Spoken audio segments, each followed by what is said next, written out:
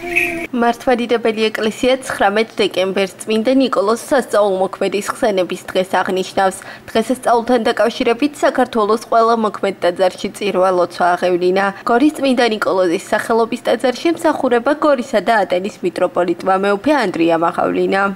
გილოცავ დღევანდელ დღესასწაულს სენებას წმინდისა დიდი სამძელმთავრისა نيكოლოზისა დიდი შემწე და მეოხე არის წინაშე ღვთისა და მას უწოდებენ სწრაფ შემწეს.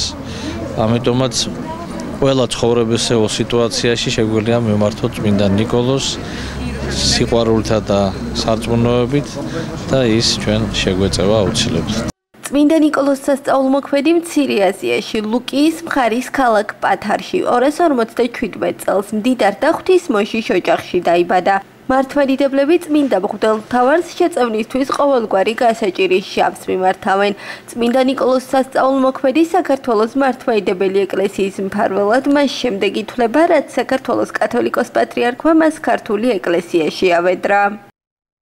გილოცავ წმინდა ნიკოლოზის დღეს სასწაულს და ისეთი წელი ყოფილიყოს გამთლიანებისა, სიკეთისა, ჯანმრთელობისა და ყველაფერი კარგი ჩვენ ერს. გილოცავთ ყინვალე დღეს ასწავლს ნიკოლოზობას.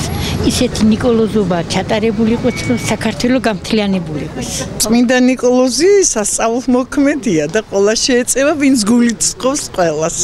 ამჯერად დღეს მიმდინარეობს წმინდა ნიკოლოზის სახელობის დღე და რომელიც ძვირფასი პიროვნება ბრძანდებოდა და ყოველ წუთში ვგრძნობთ ჩვენ მის დახმარება ცნობისთვის მართვაიდებელი სამყარო წმინდა ნიკოლოზის ხსენებას წელიწადში ორჯერ აღნიშნავს 19 დეკემბერს წმინდანის გარდაცვალების დღეს და 22 მაისს, როცა მისი წმინდა ნაწილები მირონიდან ბარში გადაასვენეს.